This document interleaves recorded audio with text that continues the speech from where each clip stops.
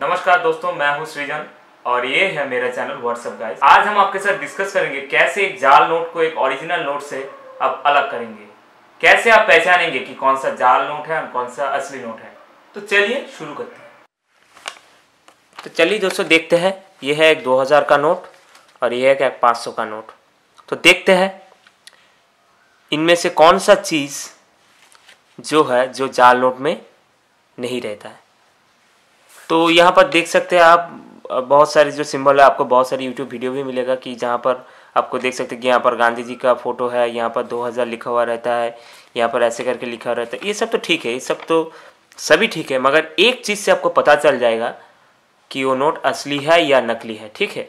और वो जो है, ये आरबीआई का लाइन आरबीआई भारत करके लिखा रहा हुआ रहता है। कभी भी आप किसी तरीके का जाल नोट या कोई डुप्लीकेट नोट आप अगर लेंगे तो उसमें से आपको दिखाई देगा कि यहाँ पर जो आरबीआई भारत है, वो उसका जो क्वालिटी है और इसका जो क्वालिटी है, इसमें हेल एंड हेवन का डिफरेंस है, ठीक है? और और एक बात है, ये जो है, ये ऐसे, आपको ये ग्रीन दिख रहा है, अब जब आप ऐसे करोगे तो इसको यह ब्लू दिखेगा। शायद आप लोग देख पा रहे हैं, देखिए। ये ऐसे ग्रीन दिख रहा है, देखिए ग्रीन अभी देखिए ऐसे करके ये ब्लू दिखेगा। आर का जो स्ट्राइप है, देखिए, देखा, ये कभी भी चेंज नहीं होता। कोई भी जो डुप्लीकेट या जाल नोट होता है, ये कभी भी चेंज नहीं होता। तो जब भी आप कोई 500 या 2000 का नोट ले रहे हैं 500 में भी आप आपको दिखाता है,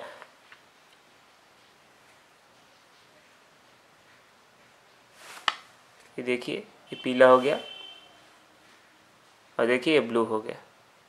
ठीक है?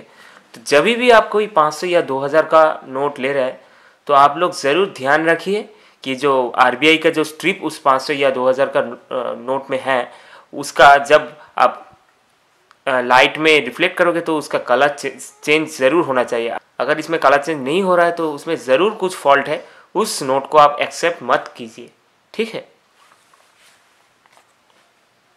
अगर आपको मेरा ये वीडियो अच्छा लगा और यूज़फुल लगा हो तो मेरे चैनल को सब्सक्राइब ज़रूर कीजिए और ये वीडियो को आपके फ्रेंड्स और फैमिली के साथ शेयर कीजिए।